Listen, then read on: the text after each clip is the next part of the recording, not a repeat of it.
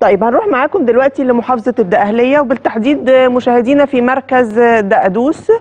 آه، عندهم مشاكل كتير في آه، مدرسة ضعاف السمع. المدرسة بدأت بطالب واحد سنة 94 وكانت موجودة فوق مسجد وبفصل واحد بس. النهاردة ما شاء الله عندهم تسع فصول. لكن المشكلة آه، بتتمثل في أن وزارة الأوقاف قطعت الكهرباء والمية عنهم بدون سبب.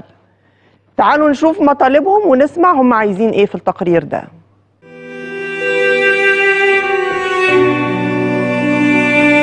في قرية دقادوس بمحافظة الدقهلية يستغيث الأهالي من الوضع الغير مناسب للمدرسة الوحيدة التي تخدم أبنائهم من ضعاف السمع والتي تقام على مساحة صغيرة مقتطعة من أحد المساجد. المدرسة ديت بتخدم مساحة كبيرة مساحة سكانية كبيرة. يعني إحنا بيجي لنا ناس من قرى جميع مركز قرى ميت غمر وبيجي لنا ناس من الغربية. الأوقاف آه، بدأت تفصل المية والكهرباء عن المدرسة. المدرسة قعدت أسبوع بدون مية وكهرباء. آه، ربنا أكرمنا وتواصلنا مع آه، الأوقاف وجبنا دخلنا لهم المية والكهرباء تاني لحد من شهر ونص بالظبط تحديدا.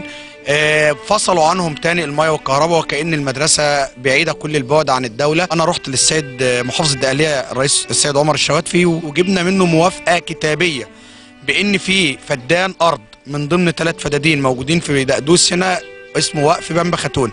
مخصص منه فدان للمدرسة التجريبية وفدان مخصص لذوي الاحتياجات الخاصة مجمع مدارس لذوي الاحتياجات الخاصة اللي هو مدرسة السمعية ابتدائي اللي هي ديت والإعدادي ملحقين على مدرسة إعدادي هنا في في في البلد برضه من يومين أو من ثلاثة طلع قرار من السيد محافظ الدقهلية بإنه يتم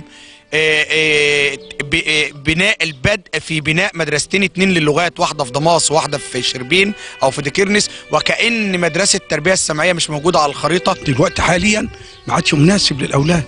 أولياء الأمور بيجوا من بلاد مختلفة بيجوا ما يلاقوش مكان يقعدوا فيه. فبيضطر نقعدهم نفتح لهم الجامعة عشان يقعدوا في الجامع ما ينفعش. مكان مش مناسب البيئة اللي موجودة محيطة بها مش مناسبة دور المية هم دورتين اتنين مية لعدد 65 طالب واخد بالك؟ وما بيعرفوش يتكلموا يتعاملوا- مع البيئة المحيطة لازم لابد من إيه؟ واحد إيه؟ يتعامل معاه. وطالب نقل المدرسة في المكان المخصص ليه؟ علشان طبعا يبقى في مكان آمن لأولياء الأمور وللطلبة وللناس مصر دلوقتي بت من طلبة ذوي الاحتياجات الخاصة.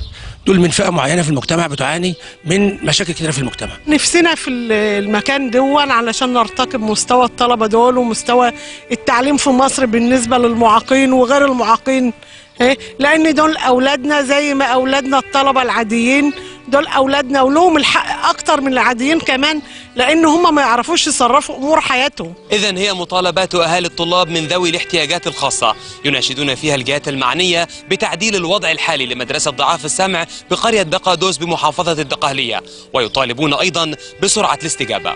عبد الرحمن داوود 90 دقيقة قناة المحور.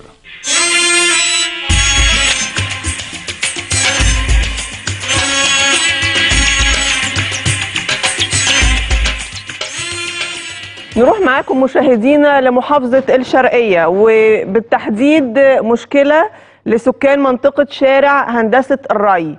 آه، الحقيقة هم فوجئوا إنه مجلس مدينة منيا القمح بيحاول إن هو يحفر الشارع لبناء محلات تجارية. ودي مشكلة كبيرة جدا آه، ونشوف آه، هم لهم مطالب بيطالبوا بيها المسؤولين في محافظة الشرقية إن هم يتدخلوا ويحلوا المشكلة. تعالوا نسمع مطالبهم إيه.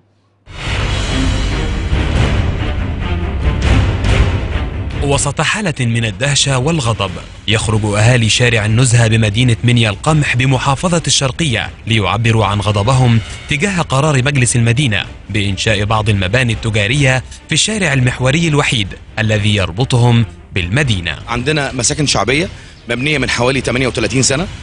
وقررت الدولة سنة 2010 إن تعمل لها امتداد. آه الامتداد ده آه آه آه، جابوا ورق إن الأرض لا تصلح لل- للبناء.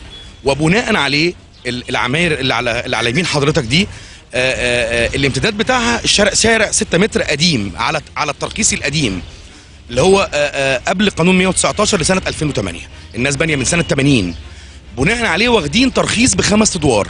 والقانون بيقول إن الرخصة بتطلع على مرة ونص عرض الشارع. المباني اللي إحنا واخدينها كلها كانت على عرض شارع 20 متر. يسمح يديك ارتفاعات تسمح بتهوية. فوجئنا إن هو عايز ينفذ مشروع محلات ينقلها هنا ويخلي عرض الشارع 6 متر.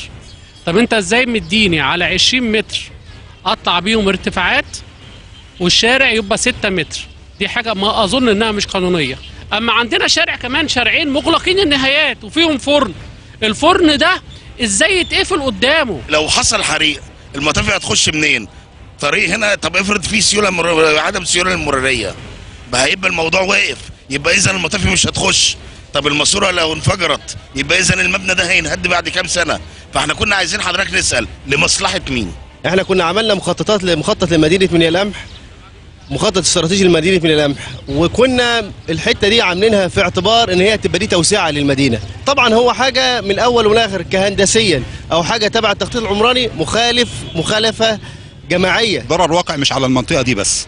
الضرر واقع على المدينة بأكملها. الشارع بقى مخنوق ما ينفعش يمشي فيه بني آدمين إلا يدوب بالعافية. لما يمشي فيه عربيات بقى نقل بترخص عربيات آه، ملاكي موتوسيكلات كل الدنيا هتمر من هنا بس. إحنا بنناشد كل اللي مسؤول سواء رئيس مجلس المدينة الحالي أو السابق. إحنا أمانة في في رقبتكم وأنتم أهل للأمان. راجعوا نفسكم وارجعوا للقوانين مش أكتر من كده. إذا هي استغاثات ومطالبات من الأهالي. بإيقاف المشروع الذي سيتسبب في الكثير من المشكلات دون أن يدر نفعا ولا مصلحة على سكان مدينة منيا القمح بمحافظة الشرقية. عبد الرحمن داود 90 دقيقة قناة المحور.